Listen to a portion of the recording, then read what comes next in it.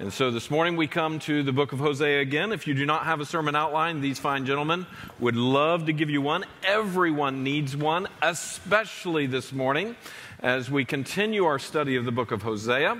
If you're joining us online, we want you to know that there is a button you can click below this message where you can actually download the, the notes as well. We study the Bible at our church because we believe that these are the words of God and that He wants us to know Him. He wants us to know Him fully.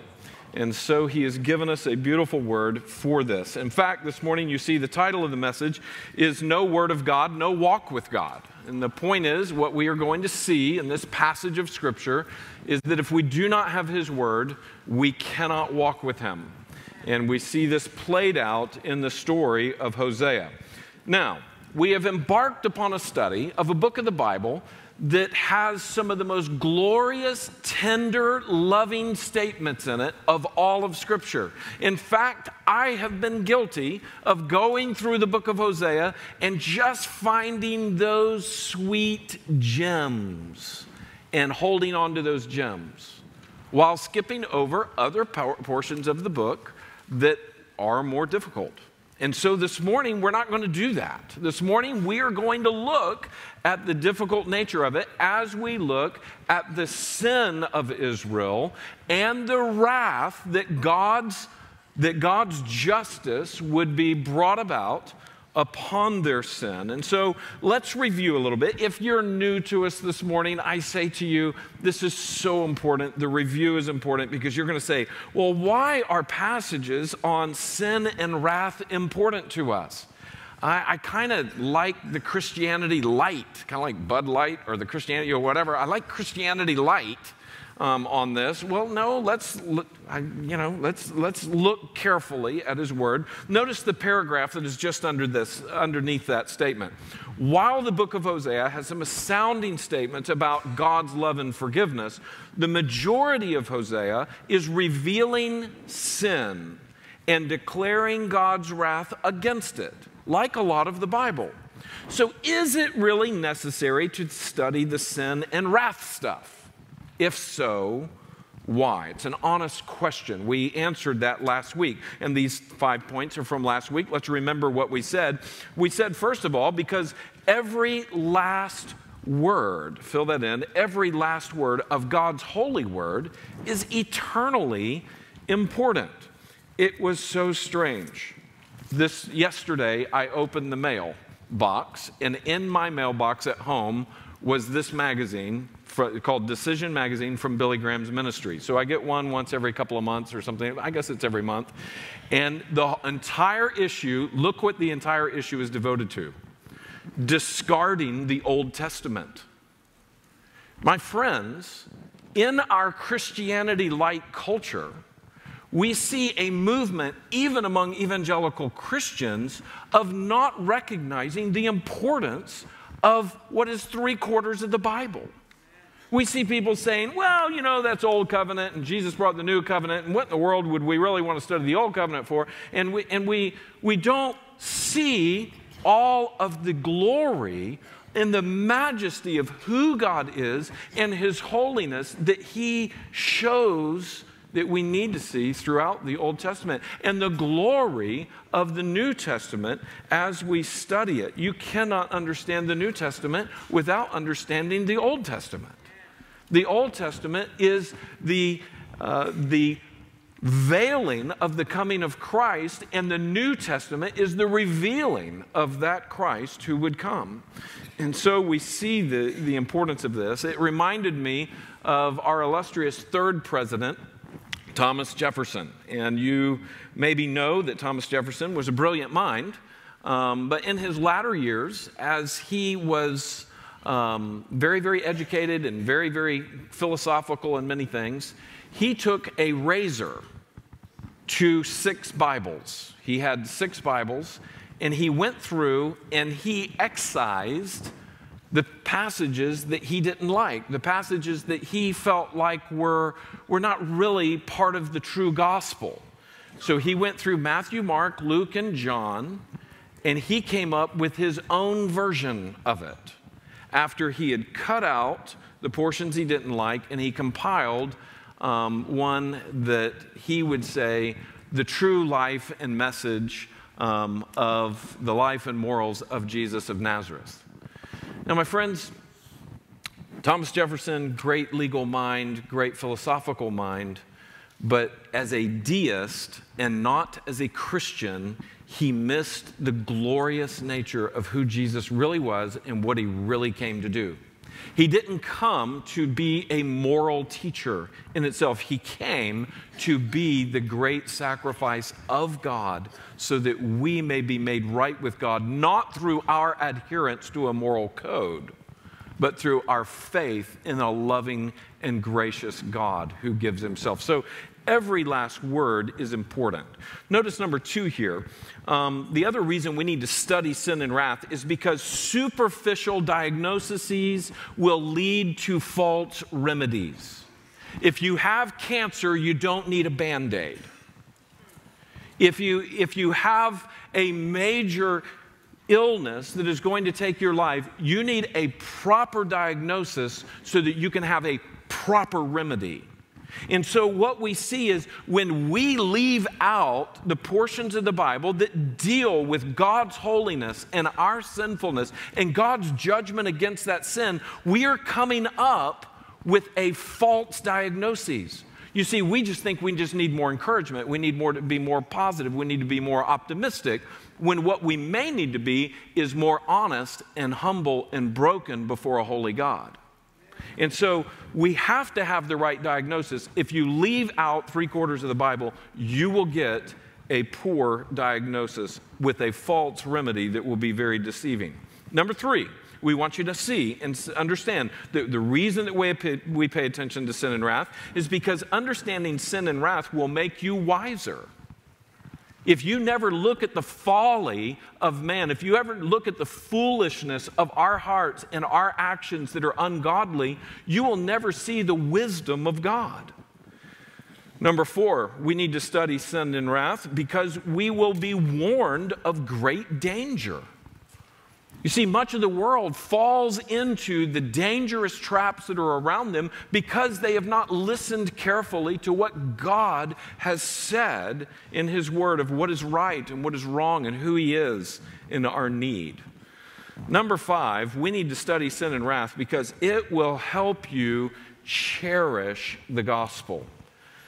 It will help you have a great love for God's grace and His goodness. We saw this diagram that shows us that when we become a Christian, we may not fully understand what all has happened at that moment. But as the years go on and as you walk with the Lord and as you grow closer to Him, you start to see the enormous bridge that He has gapped between, by the cross in what the cross has done for us. We start to say, wow, He would really, a holy and righteous God, would re- really lay down His life for a sinful, small, insignificant person like me, we begin to see the great love of God and the great chair, and we can come to cherish God. This morning, I want to additionally add a few things here about why we should study uh, sin and wrath and not ignore these passages of the Bible. And right there next to the word additionally, you see this. The greatest need you have is to know the God of Scripture. You and I need to know the God of Scripture, and we need to walk with Him. That is the greatest, more than the next breath that you have, you need to know God. More than the next paycheck that you have, more than the next meal that you would have, you need to know God and to walk with Him in this life. You see, Philippians, Philippians chapter 3, verses um, 8 through 11, and this is not on your outline, but I would ask you to write that. Philippians 3, 8 through 11, off to the side there. Notice the screen in front of you. I want you to see what Paul says about knowing God and walking with Him. Look what he says in verse 8.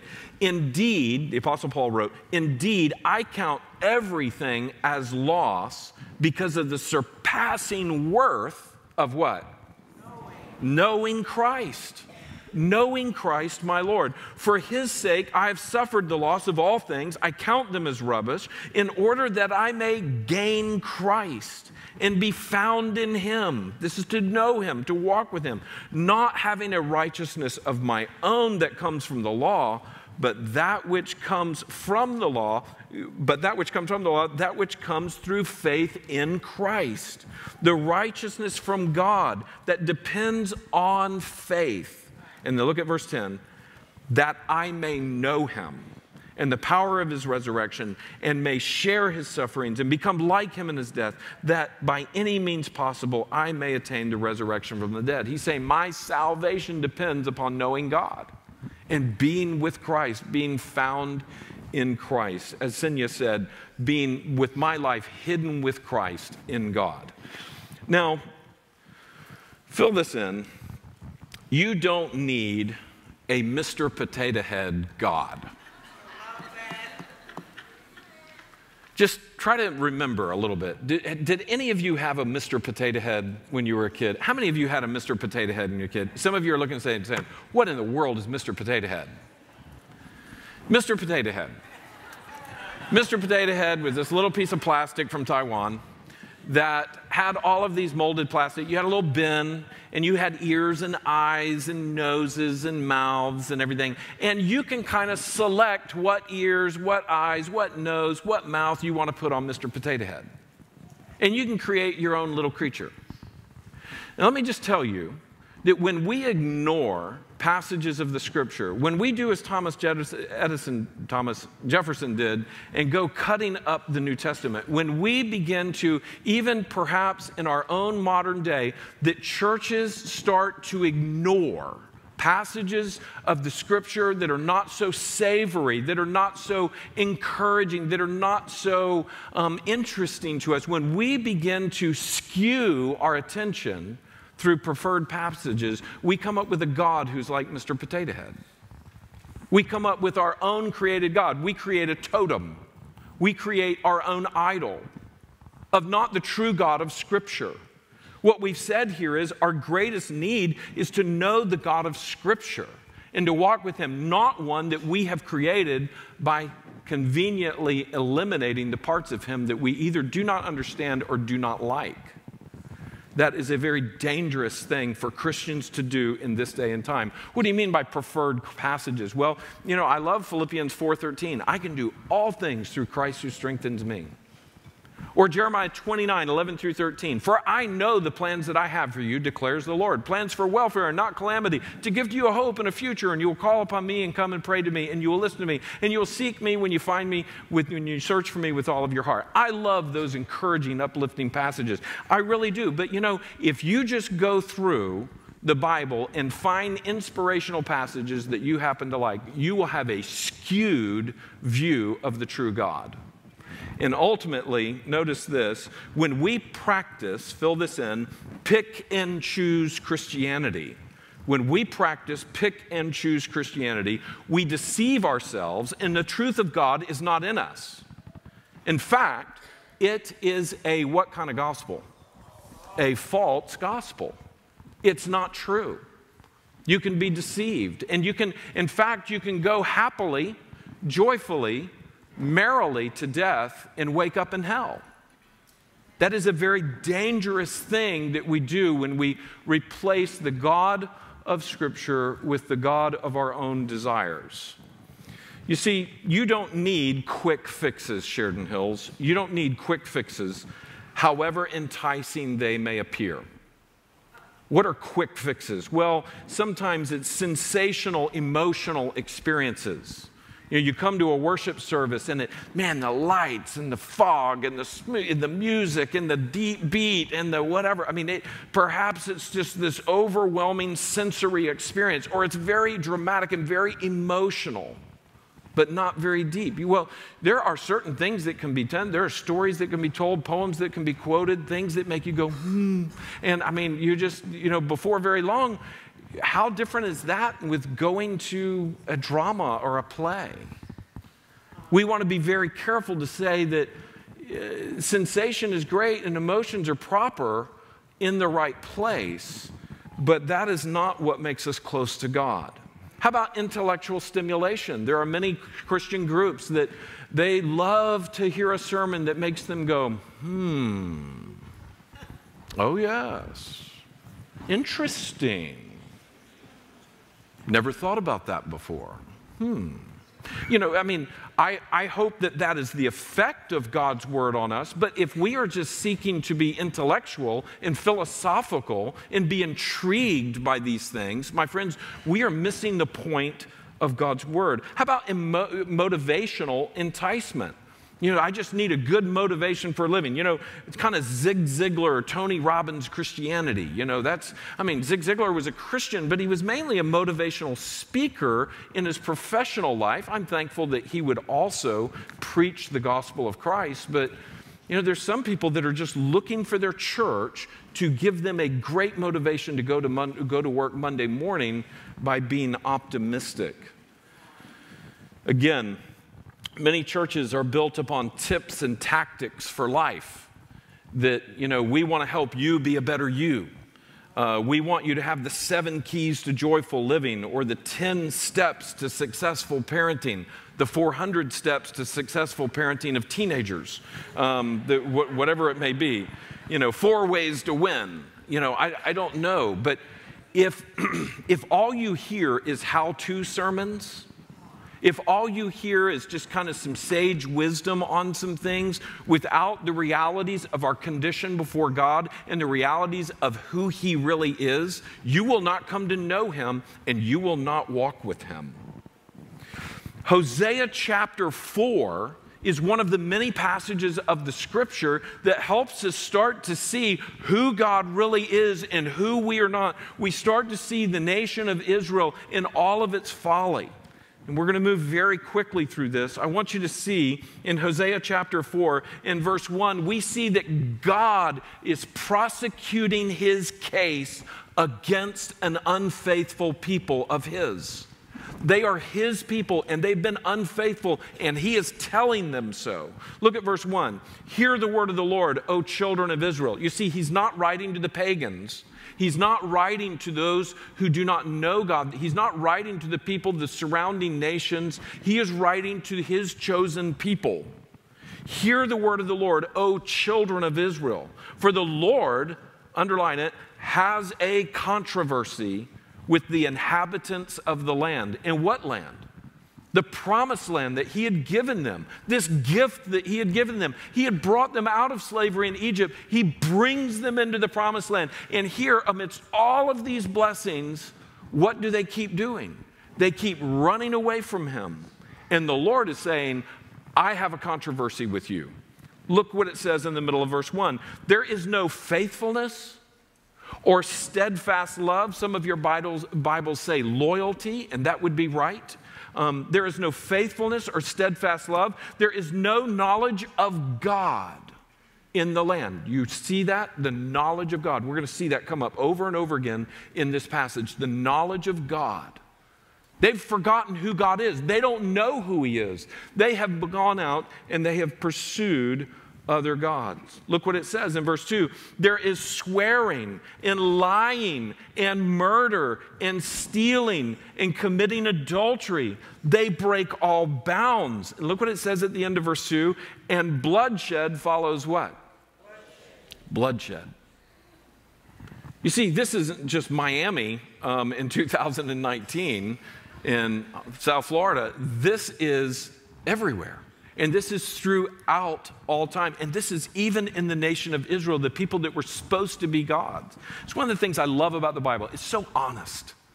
You know, other histories, they, they whitewash their history in order to make it look all pure and all right and everything else. And then you come to see, oh, wow, that's not really true. The Bible doesn't do that. The Bible tells all of Israel's dirty laundry. And it tells all of their failures. And see, that's part of the big message of the Bible is that, that they failed God even after all of his blessings. And God is saying, if you'll just come to me, if you'll come and listen to me, if you'll put your faith in me and not in other things, if you will love me and not the world that's around you, you can experience my blessings, but you keep running after other things. Look what it says in verse 3, the results of this. The land, therefore, circle the word therefore. So the reason, the, excuse me, the result of their not knowing God and all of their breaking of his law, therefore the land mourns, and all who dwell in it languish and also the beasts of the field and the birds of the heavens and even the fish of the sea are taken away. Goes on in verse 4 Yet let no one contend and let none accuse. For with you is my contention, O priests. You shall stumble by day, and the prophet also shall stumble with you by night, and I will destroy your mother, right out there to the side, the nation of Israel. This isn't talking about God killing your mom so much as this is talking about God is saying that this mother nation that you have been given is going to be destroyed. I am going to crush you because of your ungodly, unfaithful life. Now, I want you to notice some key observations as we work down through this text over here on the right hand side.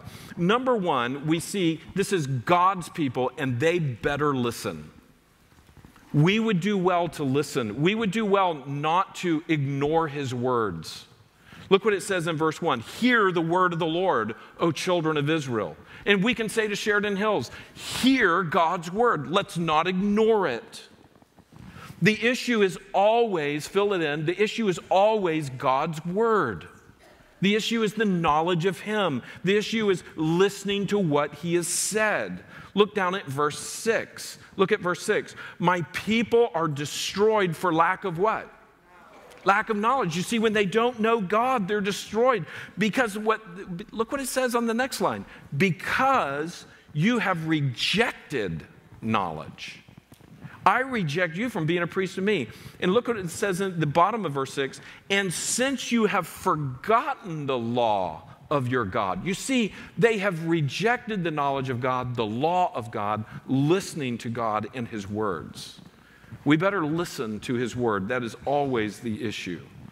Number two, God, in His grace, identifies the problem He has with His people. He's not just being mean, He's not just being harsh. No, what He's saying to you is, let me tell you where you went wrong. Now, how many teenagers want to know where they went wrong? We often don't want to know when we're young where we're wrong. And mom and dad are ready to do what? Ready to tell them where you went wrong. Let me help you. And I, I understand in a fallen world, we, we can have the wrong motives for dealing with our kids. But a good father, a good mother, a perfect heavenly father is saying, I'm going to tell you where you're wrong so you can learn more of me and you can be corrected. Notice that he identifies the problem that he has with his people. And what we find in verse 1 and 2 is we find this. And look what it says in ver- the end of verse 1 it says, There is no faithfulness or steadfast love and no knowledge of God in the land. So they don't have faithfulness, they don't have steadfast love, and they don't have knowledge of God. And as a result of that, we've already pointed out in verse 3, excuse me, in verse 2, there is swearing, lying, murder, stealing, committing adultery, and bloodshed. So fill this in, and this is an important concept for us to get. Sins of omission, sins of omission lead to sins of commission. When we omit, we commit. When we omit to look at God's Word, when we omit to learn His ways, when we omit to spend time with Him in prayer, when we omit to come to worship, when we omit the things that we need to do in discipline to pursue the Lord as part of our part of that, when we omit that, we fall into sin. And you see that at the end of verse 1 and the beginning of verse 2. There's no faithfulness, steadfast love, no knowledge of God in the land. There's swearing, lying, murder, stealing, and committing adultery. When you don't do, and this is uh, what I've put down there at the bottom, when you don't do what you should do, you will do what you shouldn't do. Y'all want to try to say that out loud with me? Let's read it. When you don't do what you should do, you will do what you shouldn't do. So if we'll just if we'll just stay with the Lord, stay in worship, stay in his word, stay in prayer, stay in communication with our family, stay in communication with our wife or our husband, if we if we begin to just do the things that we should do, it makes it much more difficult to do all the things that we shouldn't do. Or I should say it makes it much easier to continue doing the right thing instead of running to the wrong thing. Um, there's a lot of people who simply want to stop doing certain sins without doing that which is proper and right in the things that bring strength. Simply doesn't make sense. God's grace identifies the problem, and the big problem is they neglected God's word. They neglected to worship God. And when that happened, all hell breaks loose upon them. God's wrath and judgment comes upon them. It's unleashed in order to show them that they are wrong. Look at verse 3, or, or excuse me, number 3 that is here on the right hand side. God, in His grace, sends judgment to get the attention of His people. God allows the consequences of their sin, and He even invokes upon them difficulty in, in order to help them see Him. And we see this in verse 3. Look what it says Therefore, the land mourns, and all the people dwell in it languish, and all the beasts of the field, and the birds of the heavens, and even the fish of the sea are taken away. Even the environment around them is corrupted. And God, in His mercy, is allowing this to happen in order to draw them to Himself. Look at number four on the right hand side. We see this don't make excuses, don't blame others or everybody else. The point is this. Look at number 4. It says, "Yet let no one contend and let not and let none accuse, for with you is my contention, O priest." So, so far we've heard the problem is with the nation of Israel. We hear the problem is with the priests because they neglect the word. And then verse 5, and the priests, you're going to stumble by day, and the prophet, and these are false prophets, these are bad prophets, these are the prophets of Baal worship. The prophet also will stumble with you by night, many things that they did at night. Remember, we talked about the lunatics, the loon, the moon, um, the idea of what, you know, what comes out at night and all of the wickedness that comes with that very often. I mean, there's a, there's a picture of darkness and the things that are hidden in darkness. Ask the police. The police will tell you a lot of bad things happen there in the day, but some pretty wicked things happen at night. Notice here that the picture is, is that the people are a problem, the priests are a problem, they've neglected the word, and the prophets are a problem. The whole lot of them have run from God, and they have neglected the word, and the people have uh, tolerated their error. Now, number five is this on the right hand side, and we see this. We see the potential consequences are massive. And there's some huge consequences. And, and, and I want you to see some of them. Remember with me, the nation of Israel was supposed to be God's people who would have generation after generation after generation, just, just millions of millions of inhabitants. And then we see that God is also going to bless the whole world through them. He's going to bring a Messiah through them. And we see in Hosea that that is being put in jeopardy. We see that God is saying, perhaps not. If you don't turn back, and if you're not if you're not restored to me, how can you be my people? Look at the bottom. Some of you turned over, but look at the bottom of page 1. Look where it says, the potential consequences are massive their cursed environment. We've already seen that in verse 3. They're going to lose their nation. The, the, idea of your mother is going to be killed. Look at this. They're going to lose their priestly place among other nations. That all nations are not going to be blessed through you if my judgment falls completely. Look at the next part. They lose their promised generations to come. And it's very interesting that the end of verse 6, where it says, I also will forget your children. It's not as if it's already happened, it's saying that this is possible. In the picture of this, judgment is real. And it's to help us realize where we would be without the Lord. It's as if the Lord is saying, I want you to see how bad it can be. Now, I want you to see on the other side, it's safe to turn that over. I want us to very quickly run down and see this grand, unfolding, cascading sin problem that they have and the wrath that is going to come. Numbers, verses 7 through 10, and this is not a number of a point, but it is the verses 7 through 10. You see that paragraph. I want you to see this. This is the corrupt, ungodly priests will be judged harshly. And I want you to see this. Look at verse 7. The more they increase, the more they sinned against me, and I will change their glory to shame. So the priests really thought they were something, but now the priests are going to be shamed. The priests are going to be humbled. They feed on the sin of my people. He's saying that the priests are taking in all of these, these meats and these things that are sacrificed to idols, and they are, they are bringing in these foods and they're feeding on this, and they are greedy for their iniquity. They want the people to continue to do more sacrifices so that they can get more kickback. These are corrupt priests in the name of God or in the name of Baal, in the name of others. Some of them um, just, just very, very corrupt. Look at verse 9. And it shall be like people, like priests. I will punish them for their ways and re- repay them for their deeds. So just because they're a priest, they're not going to be spared. In fact, they're going to get in more trouble. Look at verse 10.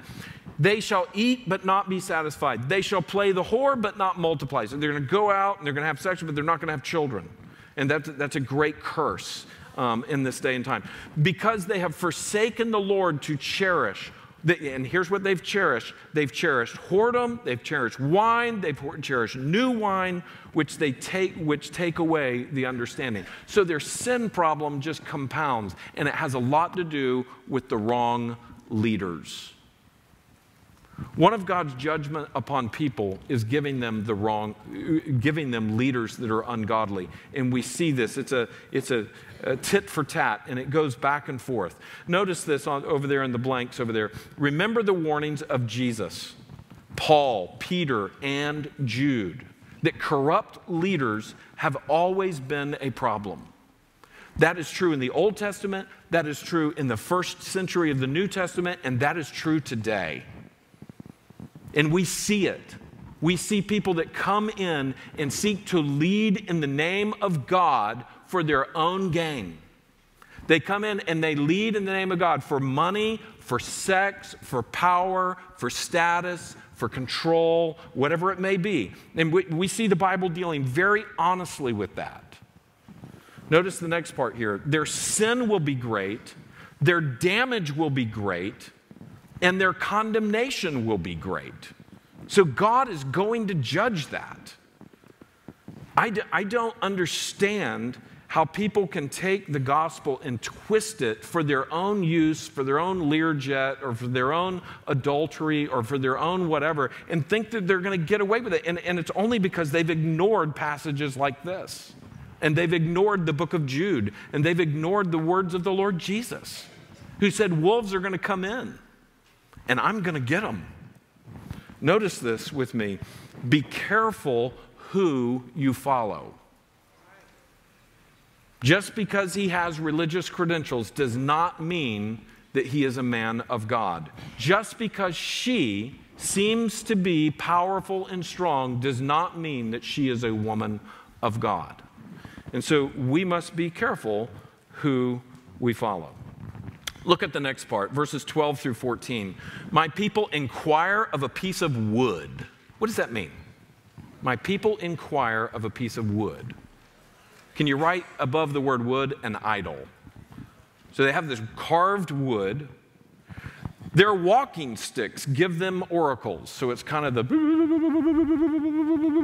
you know, and, they, and the, they're, they're going to get out a message of their walking stick which is supposed to be a staff to guide and to guard sheep, but yet it's being turned to bring about some type of occult worship. For a spirit of whoredom has led them astray, and they have left their God to play the whore. Underline that left their God. They've left their God to play the whore. Verse 13, they sacrifice on the tops of mountains and burnt offerings on the hills under oak, poplar, and terebinth because their shade is good. So they're, they're doing all these occultic practices either in high places or hidden under the trees. Notice the next part there. Therefore, your daughters play the whore, your brides commit adultery. Verse 14 is interesting. I will not punish your daughters when they play the whore, or your brides when they commit adultery, for the men themselves go aside with prostitutes and sacrifice with cult prostitutes, and a people without understanding shall come to ruin. Now, I want you to notice a few things in this, and you can study it on your own, but look over there to the right hand side. Verses 12 through 14, we see the stupidity of their, idol, of their idolatry. They're talking to pieces of wood, they're listening to oracles from a stick. We see the sadness of their idolatry. They trade a piece of wood for God. They left their God to play the whore. We see the perversion of their idolatry. That means that they're, they're, doing all these Baal worship things that were very sexual and it's just perverted. And it was even involved child sacrifice. Perverted, horrible things. And notice the depth of their idolatry. They just, they just, they kept going headlong into sin. Wives and daughters and husbands and, and sons, and day after day going into the sin that would draw them away from God. And then we see the end of their idolatry. That they wind up, look at the bottom of verse 14. What does it say? A people without understanding shall what? Underline that, come to ruin. They're destroyed.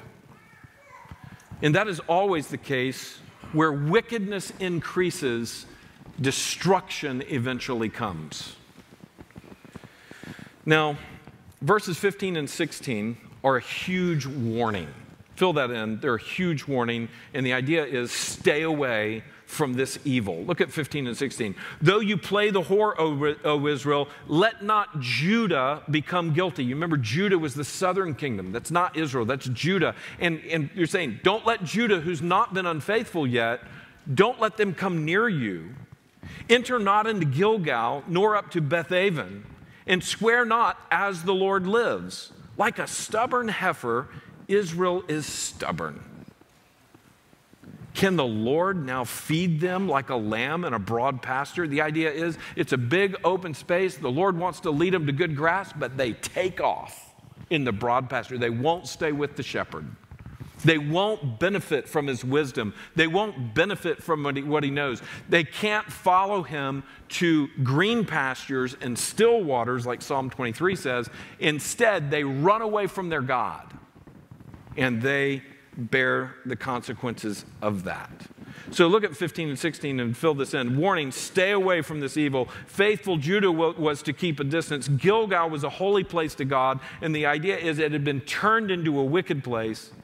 Beth Aven is very interesting. That was called Bethel, the house of God. But here it's as if um, the Lord, through Hosea, is mocking them. And he's saying, It was supposed to be the house of God, but you guys have made it Beth Aven, the house of wickedness. See, this is what happens Israel is swearing in this, saying, I mean, with that idea, as the Lord lives, it's in this day and time, it's like when somebody says, honest to God, honest to God. You better be careful about honest to God. That is, that is like a swear um, that is saying, um, I'm not lying. And very often people would say that when they were lying. Israel simply will not be helped. You see that at the end? It's like the stubborn calf, it's like the stubborn heifer that runs away. They won't come to the Lord, they won't be helped. They're just so in their sin and so in their folly. Look at 17 through 19. Ephraim is Israel, and it's used 38 times in the book of Hosea. It's the largest tribe in Israel, and so he uses the Ephraim uh, tribe as the depiction of the rest of Israel. And it's kind of laying the blame on that tribe, but it's really encompassing all of them. And the bottom line is, and we see it in verse 17, is fill this in their wickedness is to the core.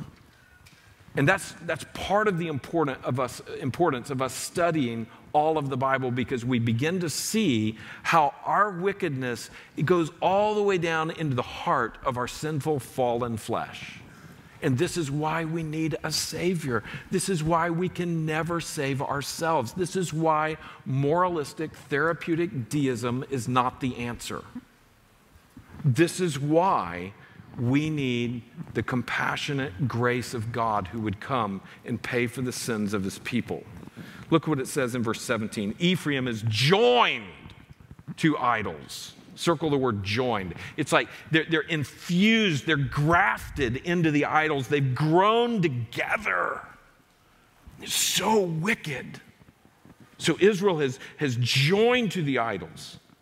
Leave him alone. Ah, it's like it's, it's just too far. When their drink is gone, they give themselves to whoring. So they run out of the alcohol, then they go after the women or go after the men. Their rulers, look at this, dearly love what? Shame. Friends, they, they just love the sin. And they shout it from the mountaintops. They declare it as the, that which is evil, they declare it to be righteous. And that which is righteous, they declare to be evil. They're proud of their sin, they love their shame. Look at verse 19. A wind has wrapped them in its wings, and they shall be ashamed because of their sacrifices. Friends, the Bible is showing us that in ourselves and in our sin, in our loving the world, we are choosing, picking and choosing, or neglecting altogether the Word of God, that we are wicked to the core. Now, that some people say, I don't like that message.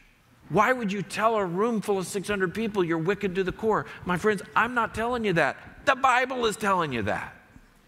You got a problem with God's message, not my message. We need to see this so we are not deceived into, into thinking that we are inherently good and able to save ourselves. Look at the concluding thoughts with me. And there's so many things. And this is, this is why this passage matters when you're raising your, your fourth grader and your third grader. If you will apply the reality of this depth of our, of our need for God to your fourth grader and your fifth grader, or to your 23 year old, or to your 36 year old, and you begin praying in line with what we see man's need, we can apply God's word to our lives. And here's some of the concluding thoughts on this. Number one, and some of you have heard something along these lines before sin will take you further than what? You want to go. And that's what we see with the nation of Israel. They started out small and then they got to where they were sinning bigger and bigger and bigger. Sin will take you further than you want to go. It will keep you longer than you want to stay. And it will cost you more than you want to pay. That's what sin does. And you know, we, you can find that out in the, across the street. You can find that out if you interview folks right here in this room who've been there, and some that are there right now. They're sitting there dealing with a world of hurt and a world of thing, and they, they know this is because I've neglected God. I've neglected paying, paying attention to Him. I've neglected listening to Him. And here I am sitting in it and it's kept me longer than I want to stay.